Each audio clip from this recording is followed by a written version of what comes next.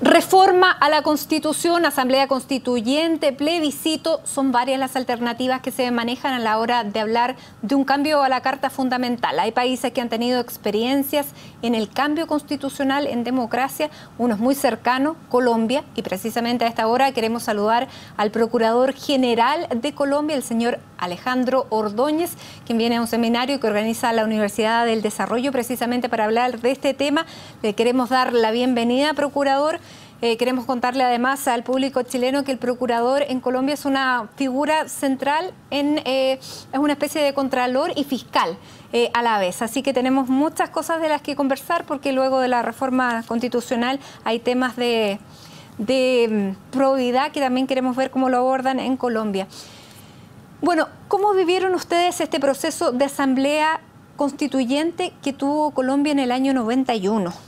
No, primero que todo, eh, los escenarios previos al proceso constituyente del 91 estuvieron signados por una gran crisis institucional, por una gran pérdida de credibilidad en la confianza en las instituciones, por una vórtice de violencia que signó esa época eh, asiaga de nuestra historia política eh, candidatos presidenciales muertos, eh, violencia de grupos al margen de la ley, aparición del narcotráfico, eh, presencia de este en las actividades políticas.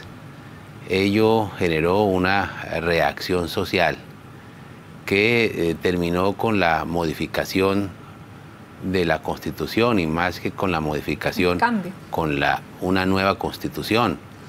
Eh, ¿Y se necesitaba como un hito refundacional tal vez en la política colombiana? Tal vez se necesita en eh, momentos de quiebre como el que usted está mencionando o también en situaciones que tal vez no lo requieren tanto, porque estamos analizando también el caso de Chile, por eso le queremos consultar.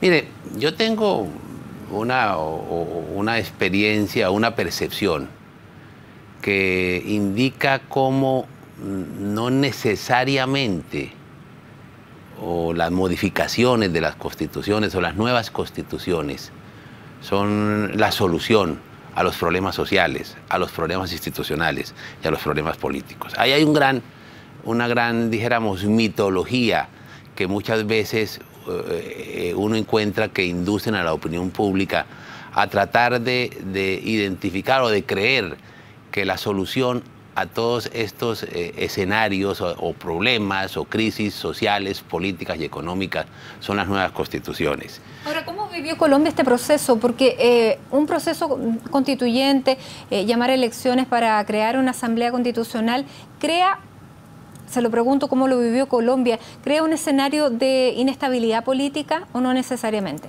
Desde luego, eso va, va anejo al, proceso, al proceso constitucional, ¿no? La reingeniería que se hace a, todos los aspectos que tienen que ver con el Estado y las implicaciones que, que las constituciones tienen porque pasaron de ser eh, constituciones con un eh, estricto contenido político a, tener, a unas constituciones con contenidos de carácter jurídico. Pero lo que yo quiero recabar y resaltar es cómo eh, no se puede pensar en que respecto a las crisis que se viven, la solución son las modificaciones constitucionales. En nuestro país, hoy, por ejemplo, después de 24 años, de la, de la vigencia de la Constitución del 91. Después de cerca de 39 eh, modificaciones a esa Constitución, estamos eh, llegando a unos escenarios muy similares a los que vivimos en el año 90, eh, escenarios que tienen que ver precisamente con la, con la falta de confianza en la institucionalidad, con escenarios de violencia cada vez más dramáticos, con presencias de movimientos al margen de la ley, con eh, cuestionamientos a todas las ramas del poder. Incluso, incluso hay, hay reiteradas, dijéramos, solicitudes de algunos sectores de la sociedad apuntando a convocar una nueva constitución y la pregunta es cómo esa solución que se, nos, que se presentaba como la solución para, para los graves problemas que afectaban la institucionalidad, la institucionalidad y que se presentaban como agudos problemas sociales, pues la, la, solución no fue la constituyente del 91, porque hoy tenemos los mismos o a veces hasta más agudos problemas. Esa es su conclusión. Sí, sí, que la solución de esos problemas no pasa por una nueva constitución. Ahora, eh, volviendo al tema también, el otro tema que queríamos abordar con usted, porque usted habla de esta desconfianza en las instituciones, de la corrupción, eh, de este proceso que ustedes vivieron eh, no solamente con el narcotráfico, sino que con la guerrilla, con la FARC. Em, ¿Cómo se combate la corrupción cuando ya está tan institucionalizado, tan dentro de la sociedad? Bien, eso es dramático. Eso es dramático porque el combate contra la corrupción no es estrictamente mecánico. Es necesaria la ley, pero no es suficiente. Es necesario instrumentos, eh, dijéramos, otorgarle dientes al, Estado, a la autoridad, pero ello no es suficiente, porque eh, hay, aspectos que son cada vez más dramáticos. Frente a una, una corrupción de los, de los años 90, eh, que simplemente se reducía a mm, lograr los beneficios de las decisiones públicas eh, frente a determinadas personas, frente a determinados sectores. eso ha evolucionado para, para lograr cooptar que determinados escenarios de corrupción, que determinadas empresas criminales coopten la autoridad para diseñar las políticas públicas. Restringámonos a la política. En eh, Colombia existe la facultad de poder eh, destituir a los cargos que han sido elegidos a través del voto popular y usted mismo en todos los años que lleva como procurador eh, ha destituido a senadores, diputados, alcaldes, gobernadores y ministros. Así es. Eh, ¿Cuál es la facultad que existe en Colombia precisamente que permita eh, sancionar efectivamente eh, a, una persona que fue elegida con un cargo popular pero que evadió la ley, hizo trampa, cometió actos corruptos? Miren, desde la constitución del 91 se fortaleció la Procuraduría y se le otorgó la competencia para investigar y disciplinar incluso a los funcionarios de elección popular. Y después se expide una norma, una norma disciplinaria, que le permite no solamente investigar, sancionar, destituir, separarlos del cargo, sino inhabilitarlos. ¿Y eso funciona? ¿Les duele? Eh, es un instrumento que ha sido eficaz. Es un instrumento que ha demostrado su eficiencia. Ha sido un instrumento que ha permitido sacar, excluir del ejercicio de la función pública a mm, muchos funcionarios públicos, eh, varios miles de funcionarios públicos, no, no centenares, miles de funcionarios públicos han sido sancionados, destituidos e inhabilitados por las autoridades disciplinarias eh, durante los años que lleva la Procuraduría en ejercicio de esas competencias sancionatorias e inhabilitantes. Competencia que ha sido muy discutida constitucionalmente, pero que ha sido eh, eh, ratificada su constitucionalidad por los tribunales constitucionales colombianos.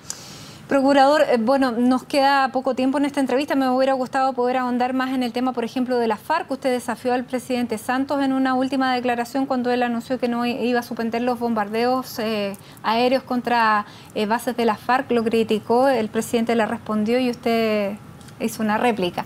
Yo no, yo no, yo no, yo no lo desafié, yo advertí. Porque en Colombia el procurador es una especie de advertidor constitucional, una especie de prefecto, prefecto de disciplina y el procurador con las competencias constitucionales que tiene como defensor, promotor de los derechos humanos, eh, le corresponde en muchos escenarios advertir cuando ve riesgos para los derechos de los ciudadanos o para la institucionalidad. ¿Cómo ha combatido eh, Colombia la delincuencia a través de los años en que usted ha sido procurador? Porque eh, hay un avance en las cifras en Colombia respecto a la lucha contra la delincuencia. En Chile hay una preocupación creciente por estos mismos temas, asaltos, secuestros, robos. Eh, ¿Hay alguna receta? Mire, desde luego que la institucionalidad colombiana ha demostrado que, que funciona, ¿sí? pero es indudable que el combate contra la corrupción. Eh, es un combate que es constante, que es permanente. La corrupción muta.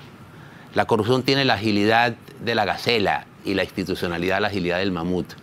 Entonces yo pienso que ah, no, basta con la voluntad política para eh, lograr combatir la corrupción. Es menester la voluntad política, la fortaleza institucional y ser conscientes que no basta con la ley, no basta con los instrumentos, eh, dijéramos, positivos para combatir la corrupción hay temas que la desbordan y que son incluso las causas que tienen que ver con aspectos culturales, con aspectos políticos, con aspectos morales, religiosos. Sí. ¿La delincuencia cómo se combate?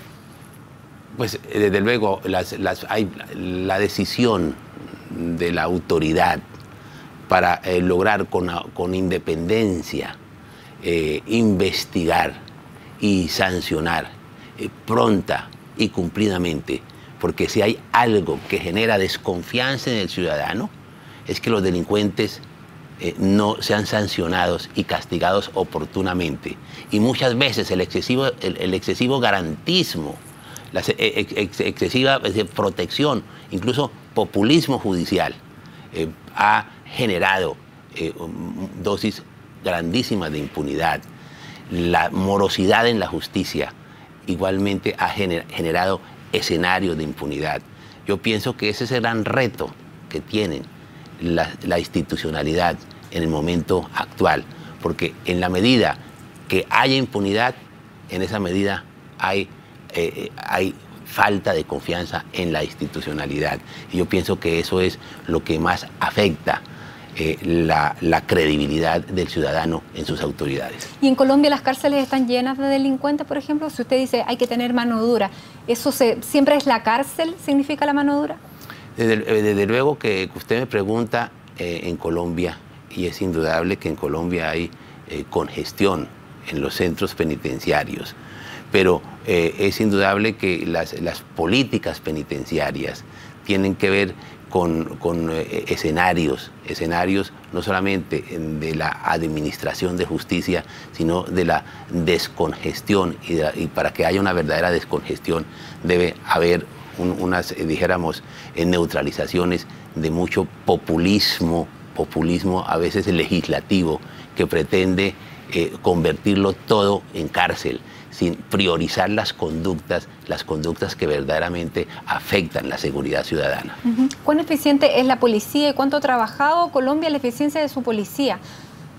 Eh, eh, Colombia tiene una, una policía que es una policía ejemplar, pero indudablemente, como en todas las instituciones públicas, pues también hay eh, factores que la deslegitiman eh, y, han habido esfuerzos, esfuerzos de carácter institucional para lograr eh, generar un instrumento que verdaderamente sea eficaz en el combate contra la corrupción. Pero la policía ha hecho unos esfuerzos que son muy reconocibles por la ciudadanía, de las instituciones públicas que tienen mayor credibilidad en nuestro país es la policía. Una pregunta personal me llama la atención y me despierta la curiosidad. Usted lleva muchos años de procurador.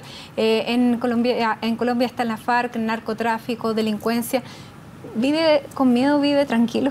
No, no, yo vivo con la, con la tranquilidad de conciencia y, eh, y, con, la, con la seguridad de que eh, en el ejercicio de, estos cargos y con estos riesgos se, debe, se debe afrontar con la confianza en, con la confianza en Dios y también con la confianza en, el, Estado que, que, protege a sus funcionarios. Procurador General de Colombia, Alejandro Ordóñez, muchísimas gracias por estar aquí en CNN Chile compartiendo las experiencias también de Colombia. Muchas gracias. A usted muchas gracias.